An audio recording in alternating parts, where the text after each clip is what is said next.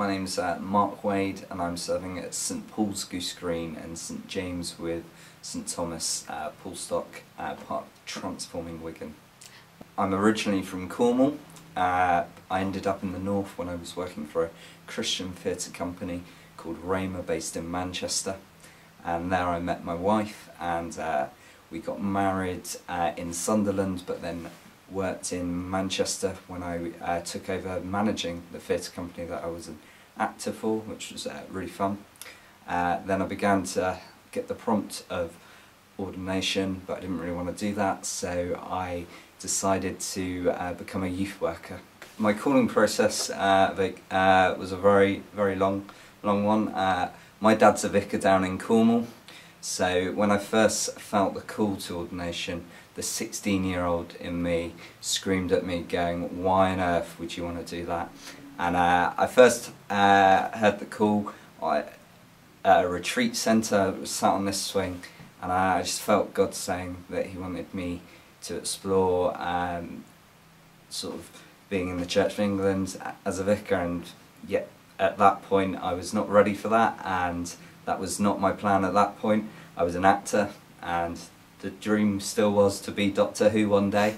Uh, but um, as I continued to pray about and uh, talk to people, uh, the prompts just kept getting bigger and bigger from people saying, oh yeah, I really think you should, you should explore that. And so the Jonah and me had to stop running at one point. So uh, I decided the best way to sort of test this out would be to go and work for a church. So I applied for a youth worker's job uh, actually in York, but then I realised the commute from Manchester to York for just three days would have been a bit insane. And somehow my CV got passed on to someone in, in Haydock and uh, I got offered a job with, by not even applying for the job. So I really felt God uh, in that, that job. And then as I was working for as a youth worker, I began to do a lot of uh, stuff with 20s to 30s men's ministry. And uh, I think a significant change was uh, I set up a five-a-side uh, club with sort of um, men's ministry, so ranging from like, uh, I think our youngest player was 13 and our oldest was about 68.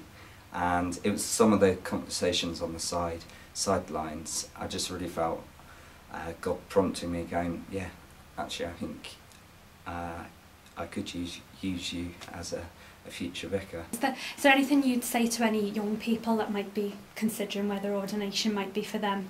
Have you got any advice?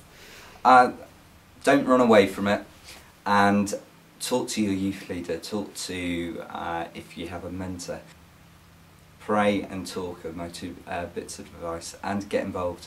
If you're not uh, serving, uh, like even helping with Sunday school or if there's an opportunity to uh, preach, uh, take up that.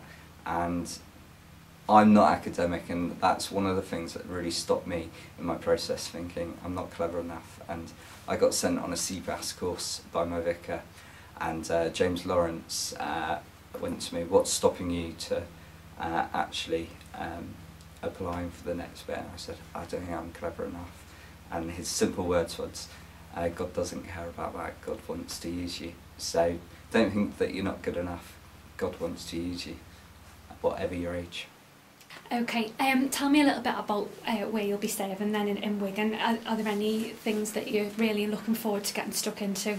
Brilliant. Um, well, to serve you, Eucharisty in Wigan at the moment is a really exciting time because uh, transforming Wigan is picking up a lot of pace. So um, uh, this week, in my first week, um, our ch uh, the church at St Paul's just uh, planted a new worship community at the local primary school called Wellsprings, and I'm really excited about those opportunities. Both churches have, have got an initiative at both the primary schools, and the idea of not only uh, working with the children, but um, working, coming alongside parents, particularly families who maybe on a Sunday um, going to church doesn't really work uh, for their routine with sport clubs and other uh, responsibilities. Uh, this is an opportunity to come and meet and explore who, who God is and what God might be uh, doing in their lives. So I'm really excited about that. And I think one of my passions are people